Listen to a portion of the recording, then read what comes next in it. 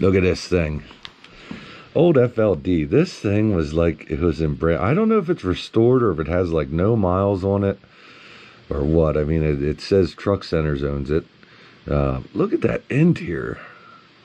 I said, that is like a brand new showroom, you know, showroom Freightliner from back in the day. Boy, that takes that, that brings back some memories right there.